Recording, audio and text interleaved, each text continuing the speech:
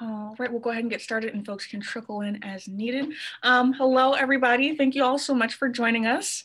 Uh, my name is Destiny Dunbar and I'm the Community Engagement Specialist for RE Sources. And this is the very first installment of the North Sound Stewards Speaker Series of 2021. So we made it.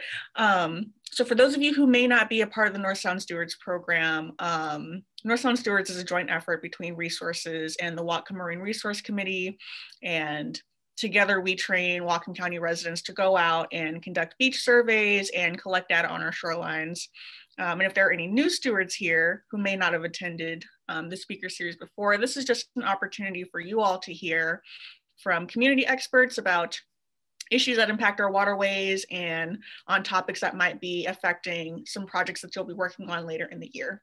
Um, so today we're going to be hearing from RE Sources' very own um, pollution prevention specialist, Kirsten McDade, and she's going to give a presentation on stormwater pollution, how to spot it, um, and how you can use the Water Reporter app to report pollution when you see it, especially important now in COVID when we can't go out in large groups um, and do reporting like we usually do.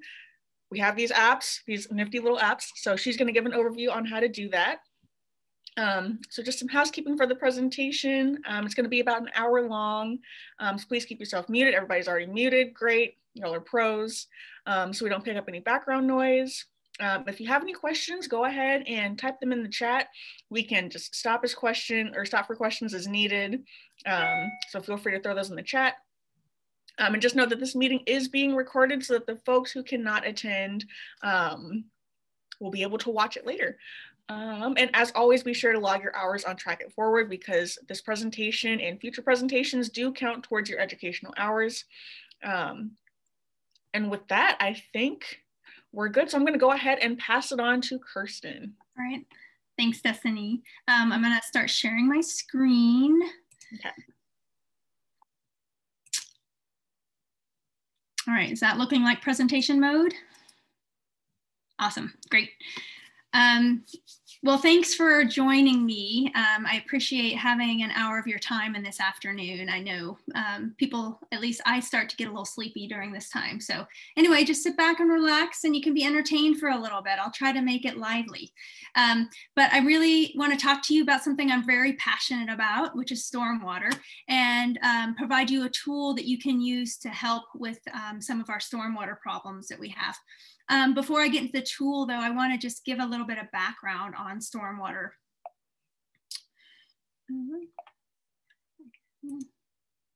All right. So um, I just want you to think about what the closest body of water is to your house. Um, this is a picture of my backyard or where my backyard leads to, and it's the West Fork of Cemetery Creek, which flows into Whatcom Creek, which flows into the Bellingham Bay. Um, and if in the chat, if you could just put what you think, if you know, like maybe it's a retention pond, or um, or maybe you're on the banks of Lake Whatcom. Um, but where do you think your water goes from your house?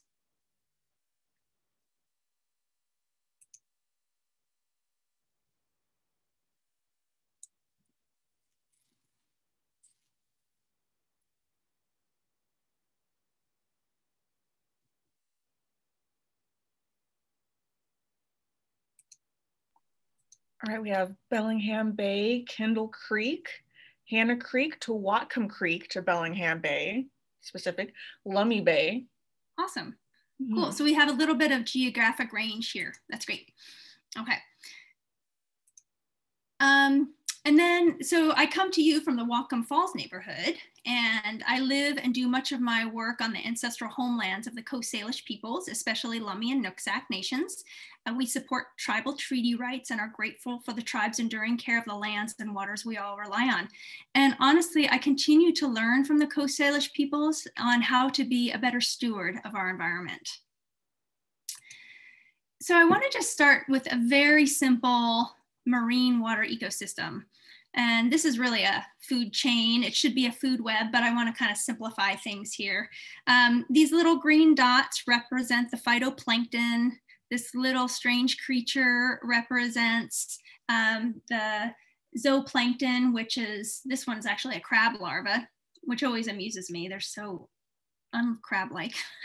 and then we've got forage fish, like a herring, for example. And then we've got our Chinook, our largest salmonid in the Pacific Northwest. And then of course, the iconic orca whale. And in a marine ecosystem, we have water molecules, we have uh, salt molecules, we have dissolved oxygen and dissolved carbon dioxide. And this is what we consider the basis of, of, of a natural, healthy marine ecosystem. In our waters, though, we also have a lot of toxics like petroleum products, and we have metals, and we have flame retardants. We have PCBs or polychlorinated biphenyls. We have pesticides. We have over 200 contaminants of emergent, emerging concern. We call those CECs. And, in reality, we have thousands of different chemicals. But of those thousands of chemicals, at least 200 of them are of particular concern because they're considered persistent. They stay in the environment, they bioaccumulate in organisms, and they are toxic, meaning they cause harm. So um, this kind of getting back to this accumulation part process, um, the words bioaccumulate and biomagnify are often used interchangeably, and they they are very similar, but there is a distinction. Um, and it's not super important that people totally understand that, but I think it does help understand um, the flow of toxics in our environment and why these persistent bioaccumulative toxins are of so concern. So again, with this simple food web, these little X's represent PCBs.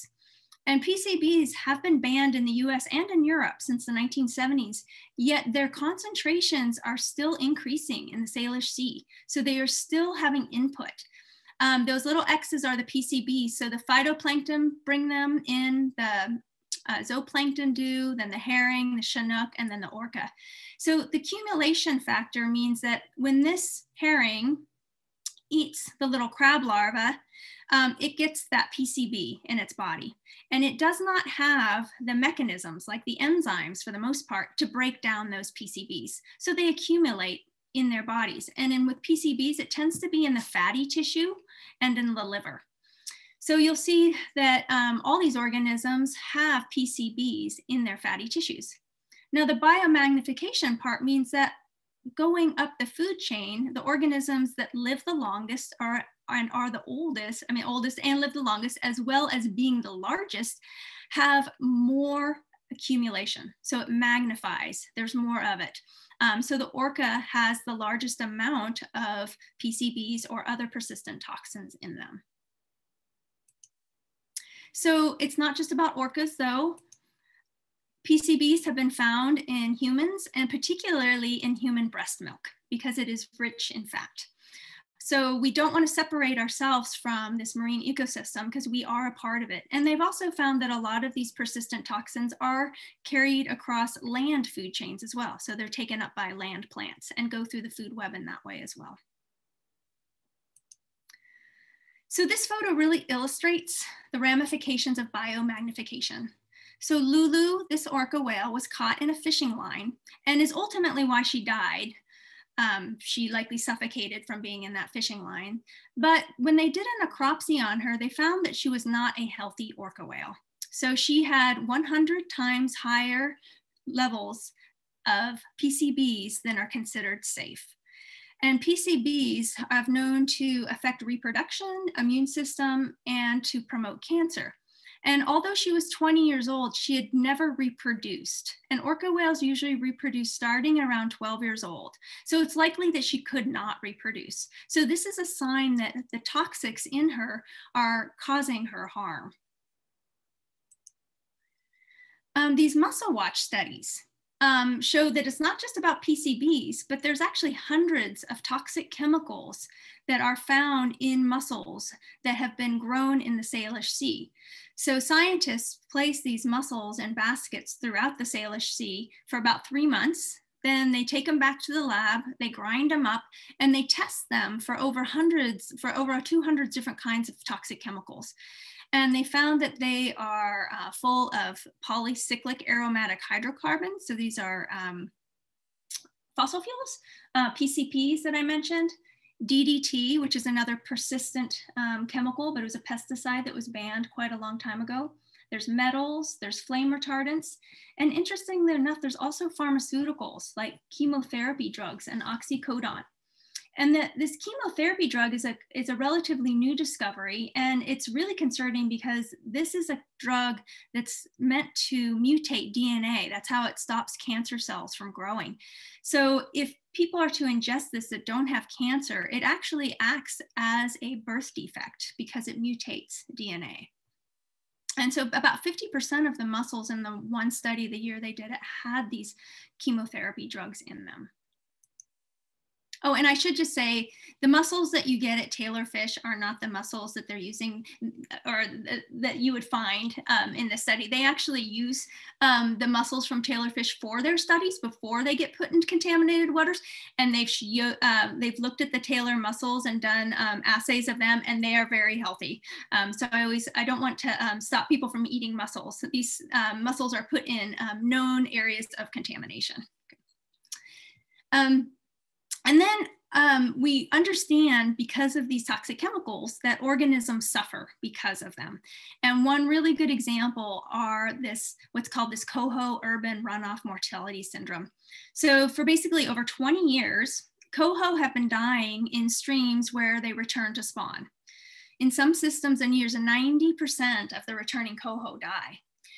And just recently, maybe you've read about it, scientists actually isolated the chemical that is causing this pre-spawn mortality. So, which is really exciting to actually be able to identify this chemical.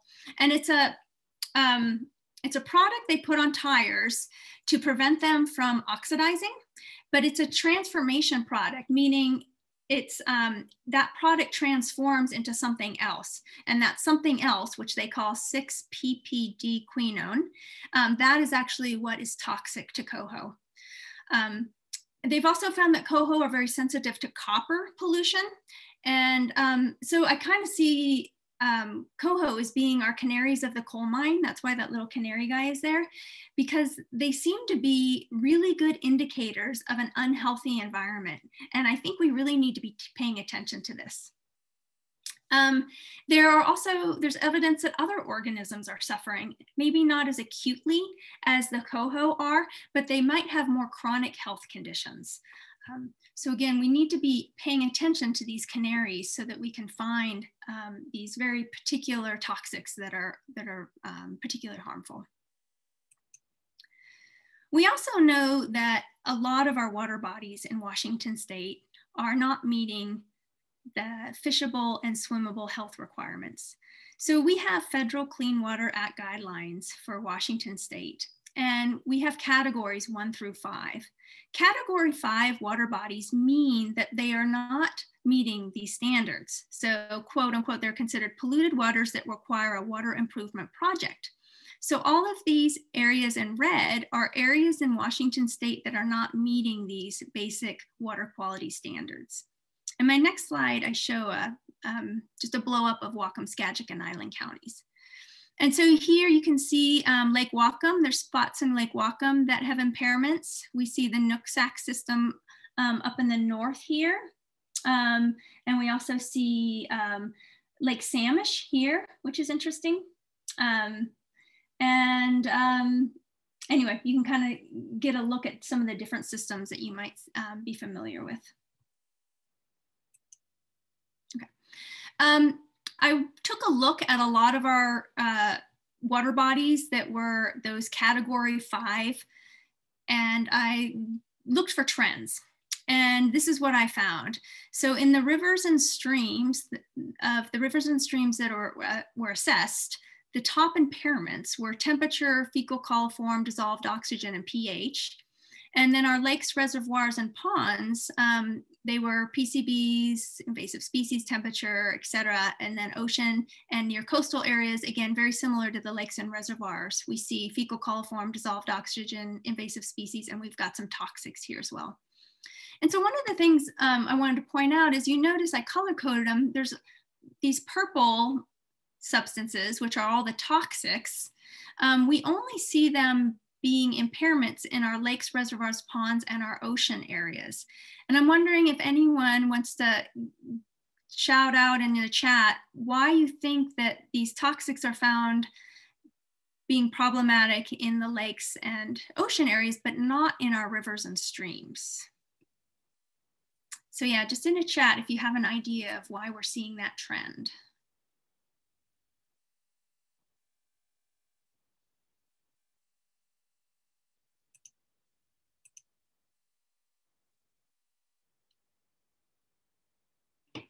Rivers and streams are moving. Yeah, that's definitely a part of the story. Yes, exactly, because the streams carry the toxics to the ocean. And you think about it, the oceans are, and rivers, I mean, and lakes to some extent, they're they're reservoirs, they're the catchment basins, they're the big pot at the end of the fluid way. And there's often not an outlet. There's certainly not an ocean outlet. Some lakes have outlets, um, but they tend, the outlet tends to be more of that surface water that runs off. So we've got a lot of toxics that accumulate in these lakes and these ocean areas. So it's just kind of interesting to think about how not all contaminants act the same and aren't found in the same place. So it just kind of adds complexity to the problem. So when I was um, was when I was first hired at RE Sources, and I was investigating um, water pollution and trying to figure out what I wanted to do and how I wanted to make the best impact. This is the type of research I was doing, and I quickly became overwhelmed. Actually, um, it's um, really depressing because I think of Washington State, I think of Bellingham as being this green, green mecca of the world. And in reality, we have a lot of pollution problems. Um, and currently, they're not getting better. Even with the Clean Water Act of in the 1970s, we're seeing a decline over time of our water quality. So one of the first things I did was to recognize that water pollution is a complex topic. And so just letting myself understand that and knowing that I'm one person, one position, that I'm not going to be able to tackle everything. So just letting that be, yes, it's very complicated. How can we break it apart? How can we address some of these big issues? So my next step was then to like differentiate where the pollution is coming from. And there's two main sources of our water pollution. We have our sanitary sewer water pollution. That's the stuff that's coming from our drains. It's what we flush down our toilets. It's what where we um, put down our sink. And this is where those pharmaceuticals are coming from, like the chemotherapy drugs and the oxycodone. So those are definitely coming from our sanitary sewer systems. They go to our waste wastewater treatment plant, but they are not being filtered out. Um, our water treatment plants do an amazing job at filtering out most of the toxics, but they don't get them all, particularly these very small chemicals.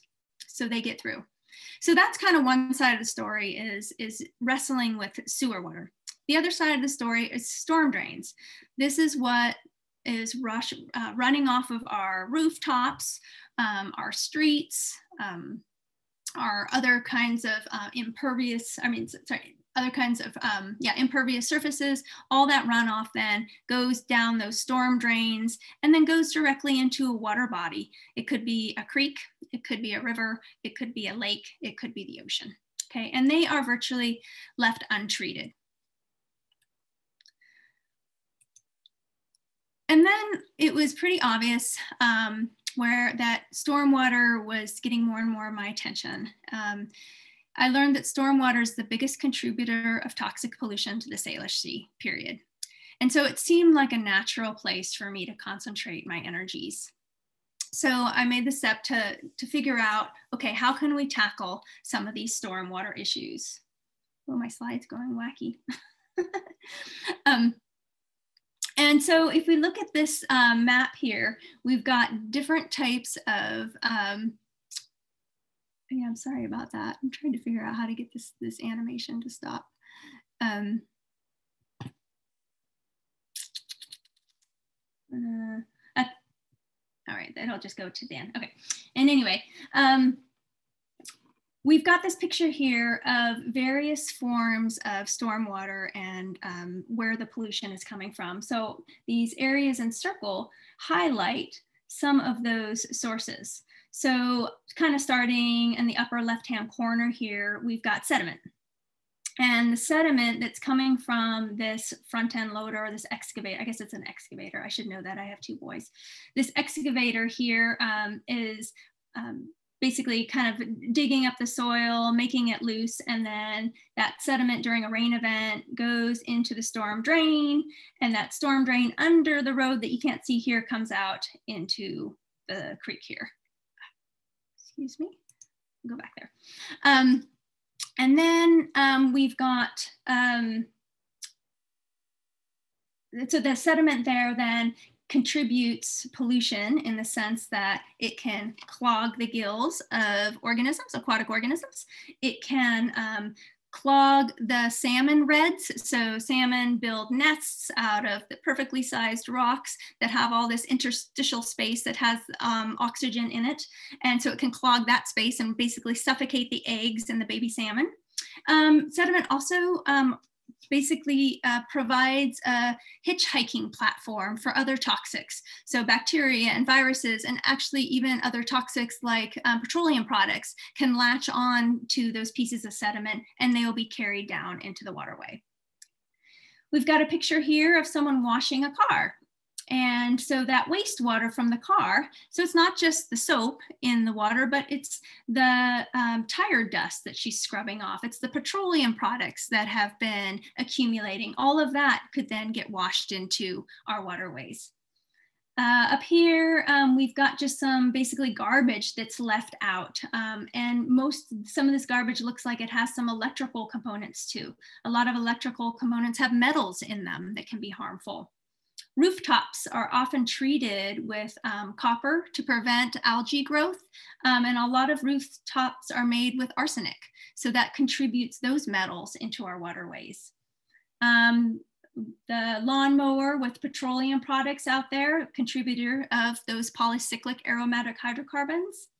We've got a caution sign here with, um, looks like they've sprayed some pesticides dog pooping that could add nutrients and fecal coliform, some trash, person using a storm drain as their garbage can. In any case, this is kind of a um, just a picture. I think of it as a Where's Waldo picture of um, all different uh, ways that stormwater can enter into our system. And I again apologize for the messiness of that. I don't know what uh, I don't know what that is on there. Um, in any case, um, so I realized I couldn't do this alone. And a lot of other people are doing stormwater outreach, like the city of Bellingham and whatnot. And um, I also discovered that tackling stormwater pollution really needs to happen at the individual and community level, not just at the organization level. And um, we all need to take some responsibility for it.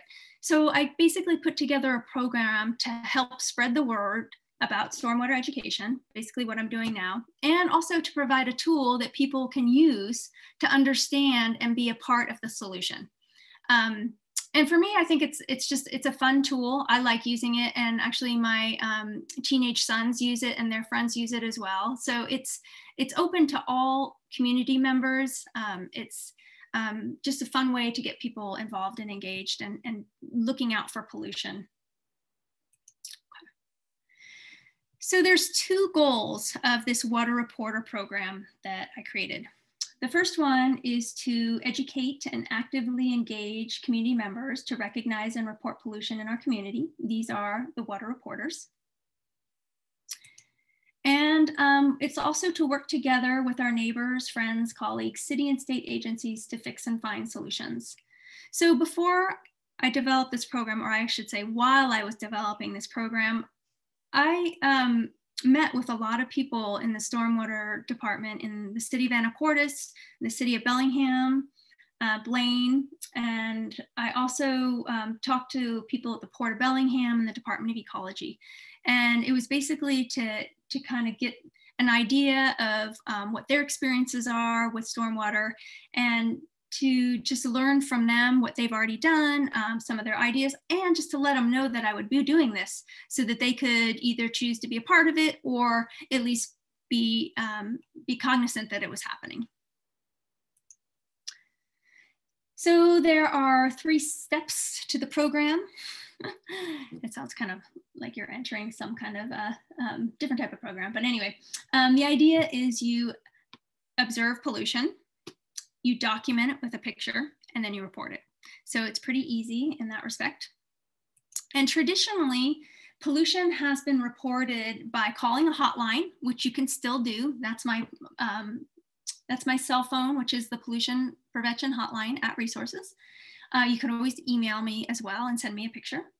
Um, and then what happens is you would report it to me. I would contact the agency that would be most likely to be helpful in getting it cleaned up. And then I would report back to you to, to say what happened. And that still works, and that's a great way. Um, but what I did is I added one more element to that. What I did is I created this app where all members of the water reporter community will be able to see the post when someone posts something. And so this isn't meant to be intimidating, it's meant to engage more people and to educate more people. So if one person posts a picture, they're like, I don't know if this is pollution or not, but this doesn't look right.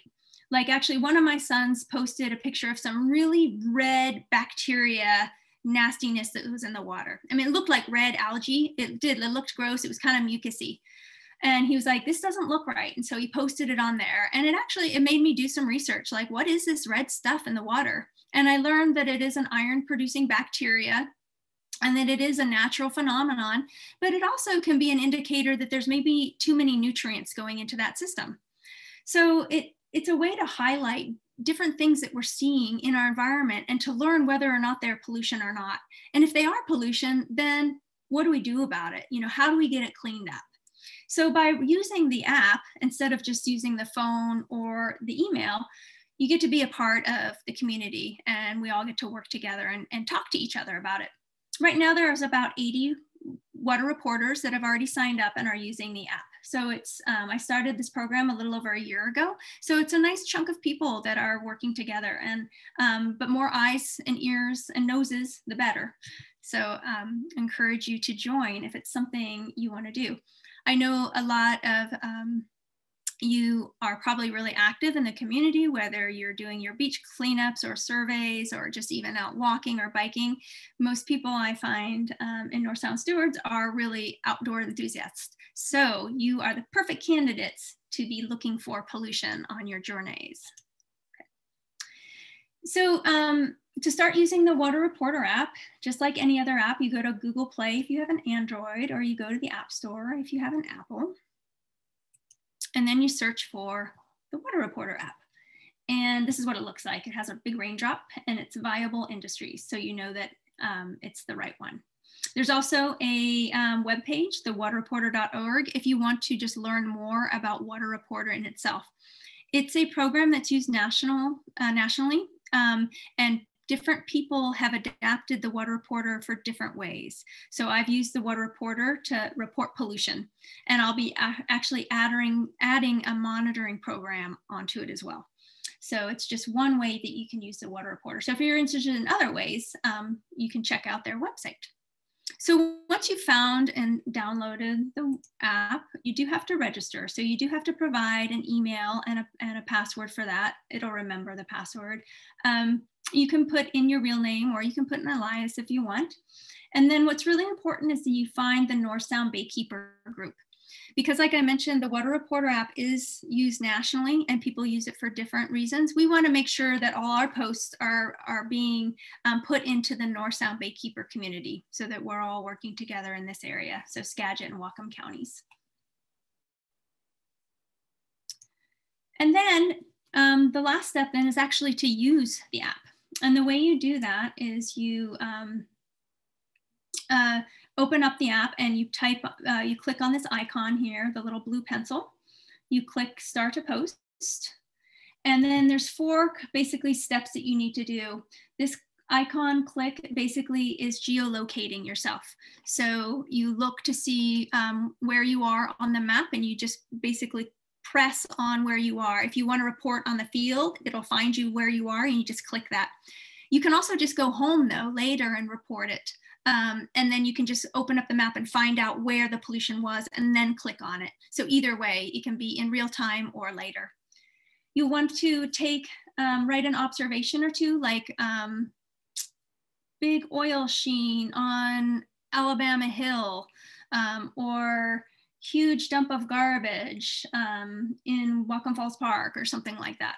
And then the, one of the most important thing is to add an image because if it's something, particularly if it's something that you don't know um, what it is and I can help identify it, you wanna click an image and then you'll wanna share your post again with the North Sound Baykeeper group. Okay, so there's kind of four steps, geolocate, just a word or two, sentence or two, or you can write more if you want, an image, and then North Sound Baykeeper.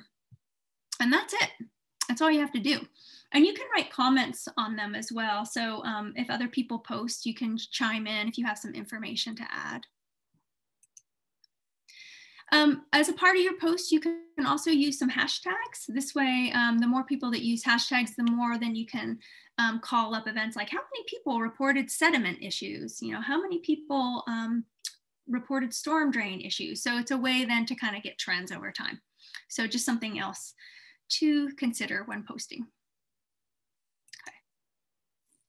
And then before I go into the details on how to identify pollution, I wanna just stress what this program is not about. And um, it's not about getting neighbors or businesses in trouble. It's not about trespassing on private property. It's not being confrontational or rude.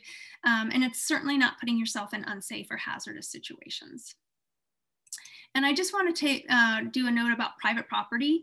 And um, we also, of course, need to respect public um, or need to respect private property and stay on public public lands. Um, and two kind of notes about that is that waterways in Puget Sound are public property, meaning that if your boat is floating, you are on public property. But if your boat hits the sediment underneath, you could be on private property.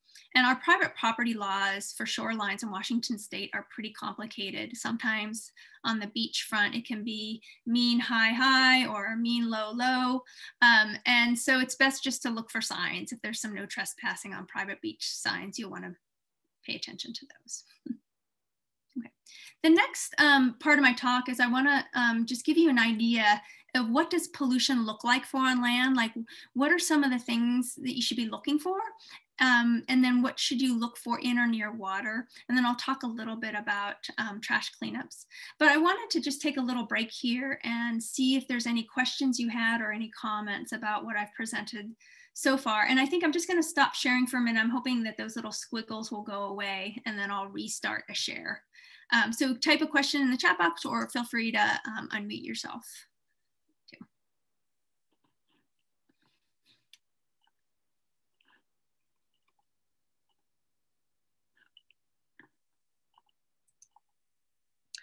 Right, do we have any questions? I think not. You're doing a pretty thorough job. I feel okay. like I feel like I'm all there. I feel like all right. Yeah. Okay. Well, I think this will get rid of those squiggly lines too. So it was kind of feeding two birds with one stone. okay.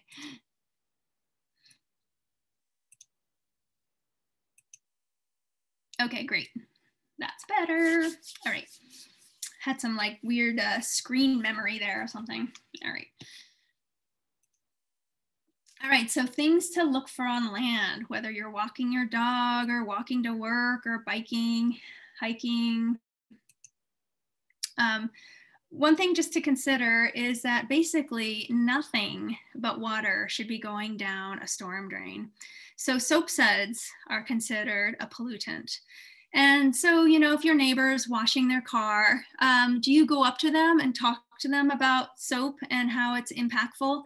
Maybe if you feel comfortable about it, um, that's something that you need to decide. And there's different different ways of, of doing it. We certainly want to have good relations with our neighbors but there are subtle ways that you can bring it up. Um, one thing sometimes I do is give people a coupon for a car wash and say, hey, I found this car wash. Did you know that, you know, it's better to wash your car in a car wash? And um, you can give some several just different reasons for that.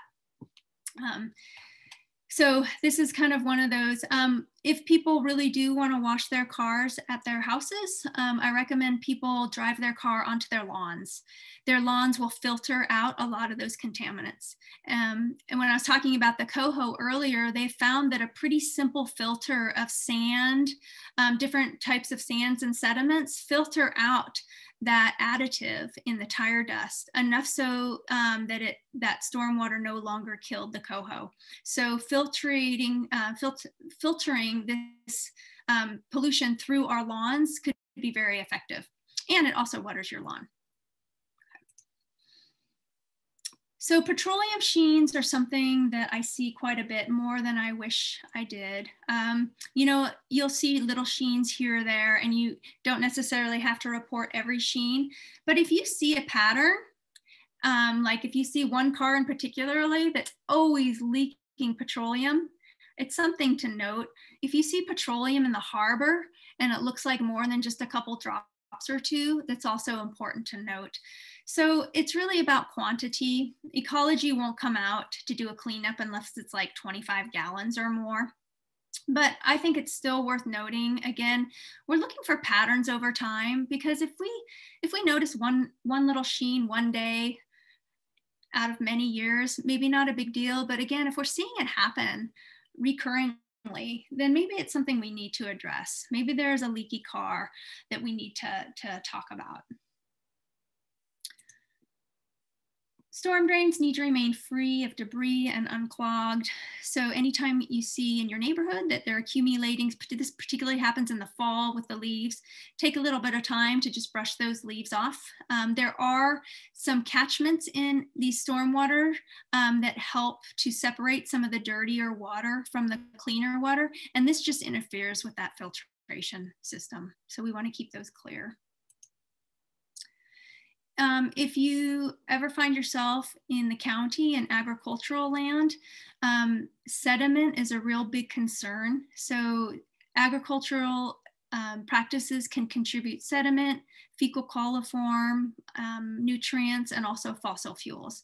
We really don't want to see cows or other livestock right next to a stream bed. So if you ever see this type of situation, that would be really great thing to report is cows near the water. They need to be on the other side of this fence, although that might be a road, but you know what I mean. They, they need to be away from the water. We need to preserve our banks so that there's not that input of sediments and nutrients.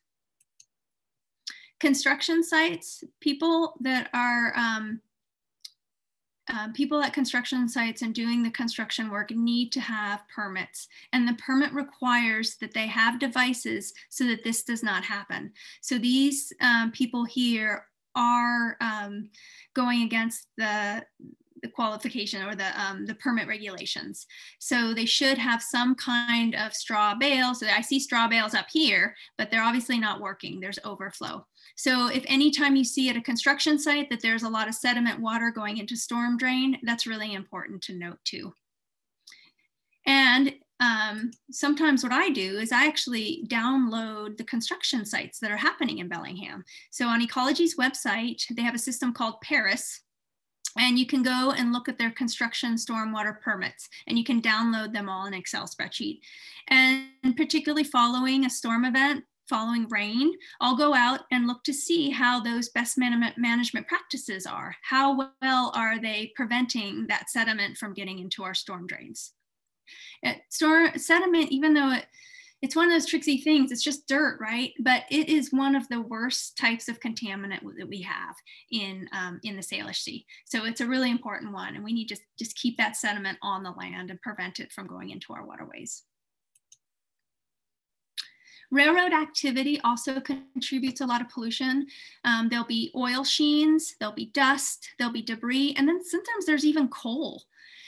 So we need to keep track of that too, because they are also violating permits when you see this type of activity and they, they just have a, a, potential to emit a wide variety of contaminants. And as most of you know, the railroads in Bellingham, Whatcom County, Skagit County, they're right next to our, our waterways. So it doesn't take long for this pollution to get into the water. Okay, so those are some of the basic things to look for on land.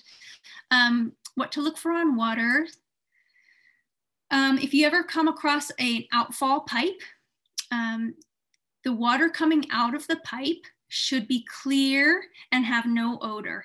So if you go up to a pipe and you see that it has a lot of sediment in it or it has a bad, uh, weird color on it, or if it smells like rotten eggs or fossil fuels, that's an indicator that there's an illicit discharge coming out of there, that there's pollution coming out. So that's important to report as well. Um, another thing to think about with stormwater outfalls is if it hasn't rained recently, and that what and there's water gushing out of the pipe that also means that there could be an illegal dumping of water occurring um, because there should be just a little bit of trickling of, of groundwater. So this would be kind of a normal little trickle that would happen maybe you know if it had rained within the last 24 48 hours. Um, but if it had been gushing um, that's a different story Kirsten, I'm going to jump in with a question really sure. quick. For me personally, what in under what circumstances would someone be illegally dumping water? Well, so people that are washing things, mm-hmm. like if mm-hmm. uh, industries that use water for um, any type of washing. So maybe it's a fish processing um, business that mm. is um, cleaning off their equipment or just using water to wash their, their fish to prepare it for packaging. That uses a lot of water. Um, a lot of manufacturing practices also use a lot of water.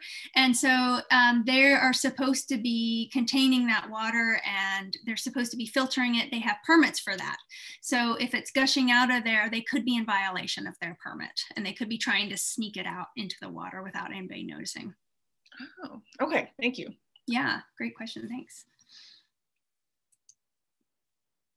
Um, if you um, are walking in Squalicum Harbor, Blaine Harbor, down in Anacortes, or if you're out on a boat um, and you see uh, sheens, if you see fish kills, um, if you see soap suds, um, that's also important to report. Boat maintenance should be occurring on land. So we want the boats out of the water. We don't want to see people washing their boats in the water. We don't want to see them sanding their boats on the water or painting their boats.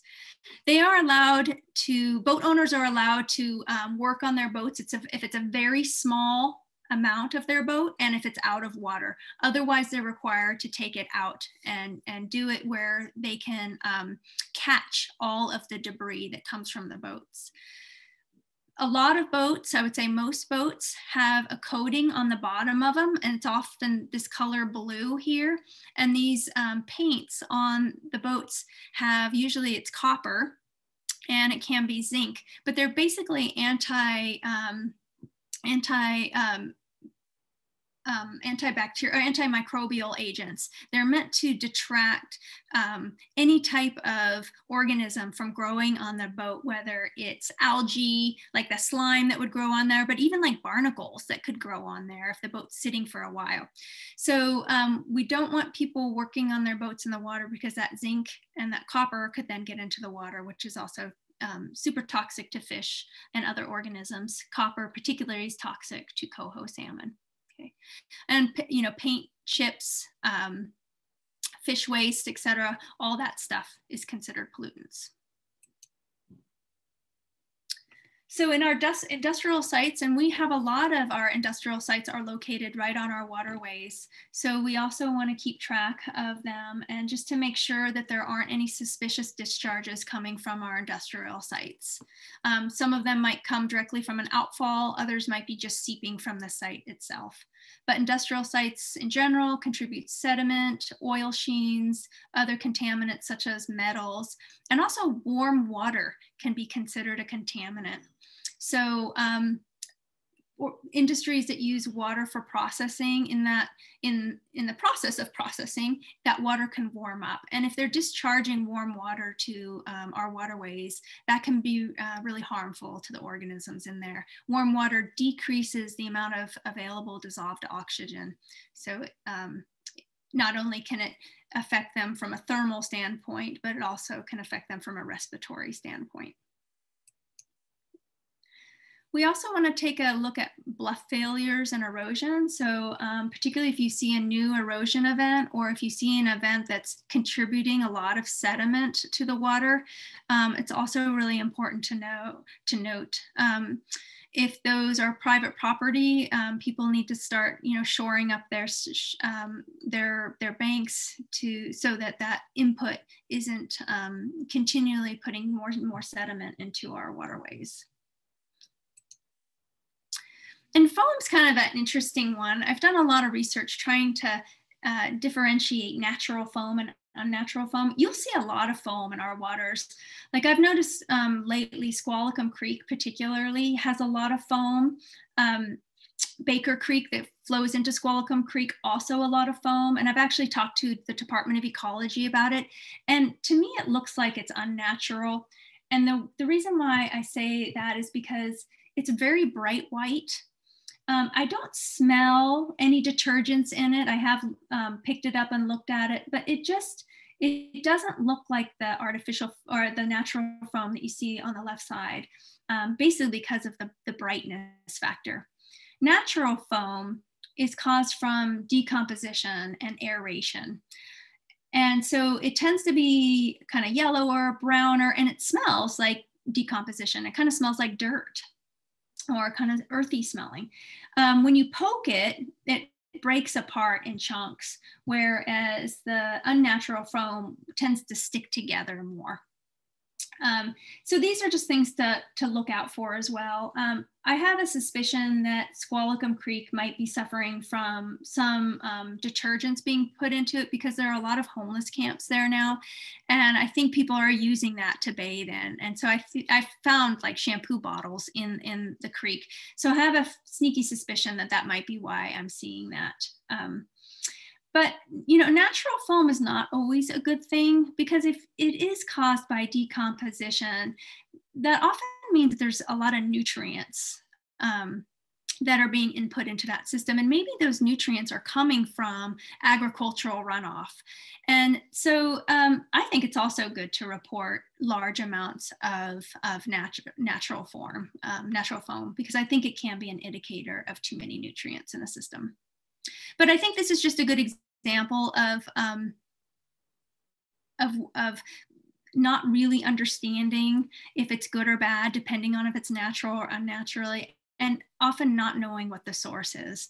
And so again, this is, it's kind of like a mystery that we just kind of keep adding information to the database and, and hopefully eventually we'll try to, we'll be able to figure it out. So something else that's similar to foam in the sense that it's natural, but maybe not good natural are algal blooms. So algal blooms, um, they can be algae and they can be bacteria, they can be green, they can be red, they can be yellow, um, and they're becoming more and more common in the Pacific Northwest. Um, one of the, well, there's two main concerns. One is that some of them are hazardous algal blooms, HABs, and they produce toxics that can make people very sick. They can kill your dog if it swims in it. It can kill people too. Um, they, they can give you swimmer's itch if you swim in it. So there's that toxic nature to it.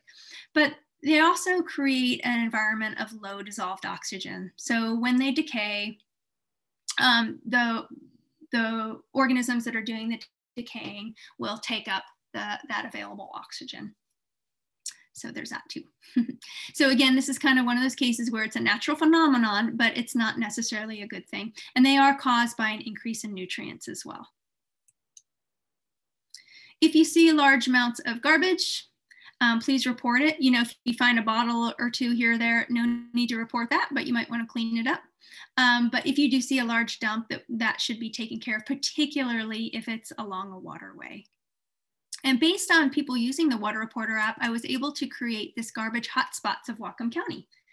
So um, I took everybody's data and information and um, was able to create a map of where we chronically see garbage in Whatcom County. So um, you're more than welcome to use that map too. And if you do start using Water Reporter, I can add more to this map. I'm hoping to get more places down south as well, because this is mostly Whatcom County.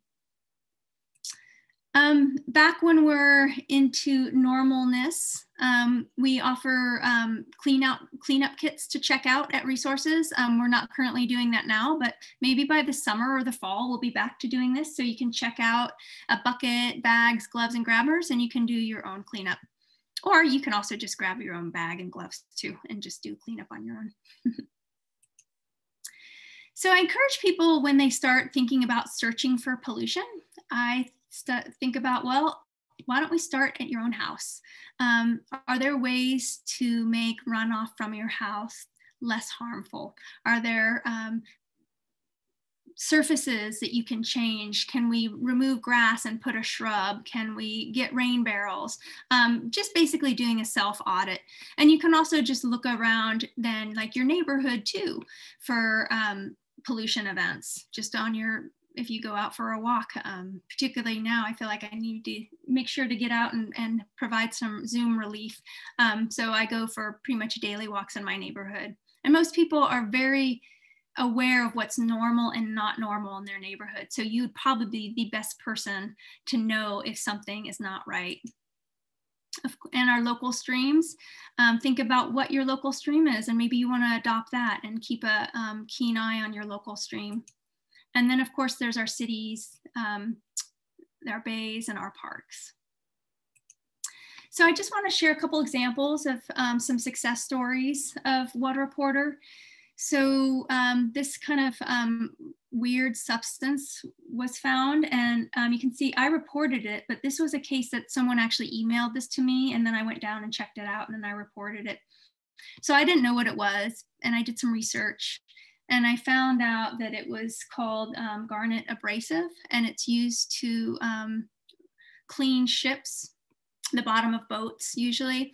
And like I said before, the bottom of boats can be toxic because of that anti-fouling paint they put on there. So potentially this could have um, copper and zinc in it and potentially some other chemicals. So it's important to clean up.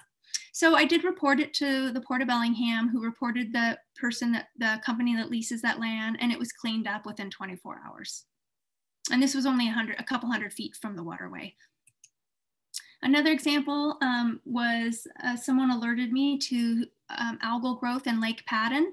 And so I went down to check it out. And um, I had fortunately just taken a hazardous algal bloom class and was able to identify some toxic algal species. So um, I called the city of Bellingham and let them know what I found. And then um, the next day they put um, the sign out there to warn people not to swim in the area, not to drink the water, and to keep pets and livestock away so that was great. That was a good community interaction where could have prevented um, a dog or a person from getting sick.